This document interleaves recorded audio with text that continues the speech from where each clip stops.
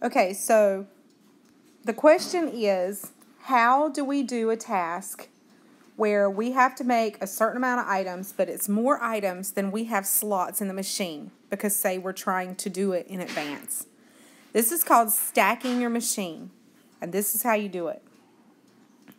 We're going to use my ice cream maker, for instance, since I have so many beautiful ice creams sitting out there. So let's pretend I have a task, and the task is asking me to make 15 vanilla ice creams. I look at my machine and I have this many already sitting out here. I have six. I also have the two strawberries, but I have six vanilla ice creams. I need to put more ice cream in this machine and get it producing more without picking up the ice creams that are sitting in front of the machine. So this is when, this is the only time that having a full barn is your best friend. Any other time, it's a pain in your butt. But right now, it's my best friend. So let me go to the barn. If I touch my ice cream machine right now, I'm going to pick up an ice cream that I don't want to pick up because I want it to sit there until I take the ice cream task and I'm ready to pick it up.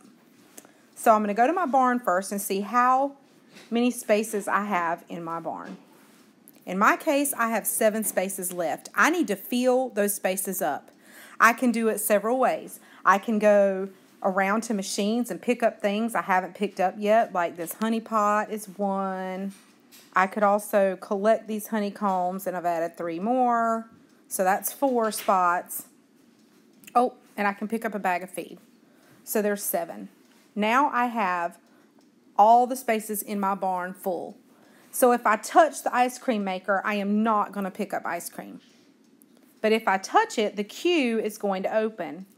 So I'm going to touch it now, and my queue opens. It didn't pick up any ice cream. I need to drop one ice cream. So I'm going to click my vanilla ice cream. I'm going to pull it down now, it is going to start making that ice cream, but I didn't collect any. Now, I cannot pull another ice cream down right now. If I do, it's going to pick up one of the ones in front of the machine because my barn is no longer full. Because when I made that ice cream, I used a cream and I used a milk. So now my barn, once again, is not full. I have, oh, well, I only have one spot left.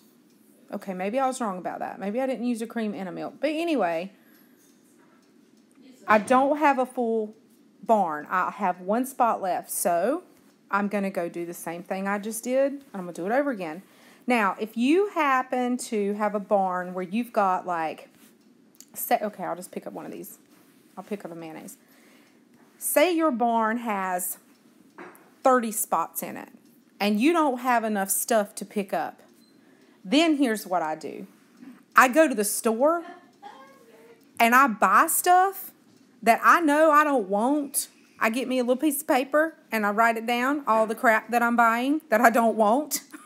I'm buying it, I'm filling up my store, and when this project I'm working on is over, I will go to my store and sell all that stuff I just bought.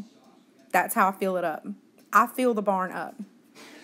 Okay, so now that the barn is full, and I always check again, because you have to be super careful or you'll start picking up ice cream and you have to make it again. Yes, I am full. A thousand spots of a thousand, I'm full. So I'm going to go back to my ice cream machine, click it again, and I'm going to drop another one. And then I repeat the process. My barn is no longer full. But it can be because I can collect eggs until it tells me the barn is full. But I'm not going to feed that chicken because then my barn won't be full. So he can lay there for a minute while I come back to the ice cream maker and I drop another one. Then I'm going to go back to my chickens. They're going to help me fill up my barn. It's full again.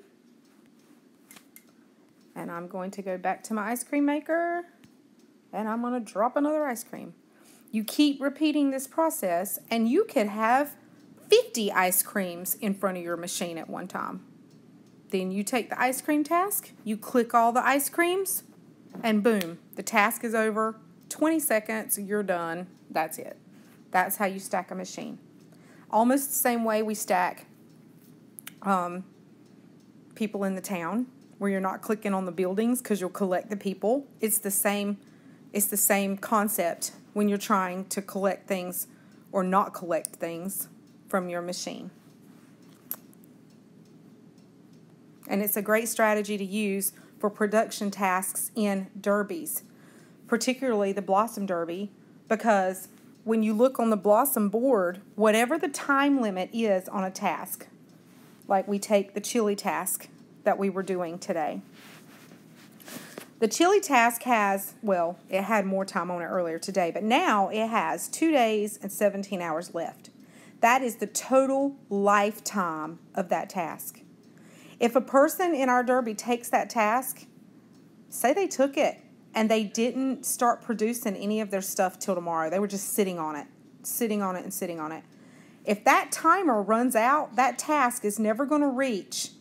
If it starts out at 320, it's never going to reach 375, 350, and then 375, and then 400. What the goal is, is to do these tasks as fast as you can because the, the less time you take on it, the more of your team members can do it for 400 points. And you get way more points for that task than if, you know, person A picked up the task and it took them nine hours to complete it Person B took the task and it took them, oh, 10, 11 hours to complete it.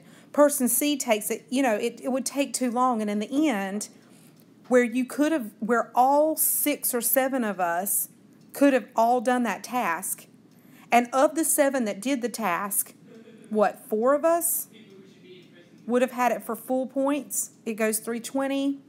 I think then it goes 350 and 375. Yeah, yeah, if there were seven of us doing it, four of us could could have done that task for 400 points. But we can't if we waste our timer on the task. And producing this stuff is too easy to do that. What we need to do is is we all start producing it when it comes up. And then person 1 takes it, they're done with it in a few minutes.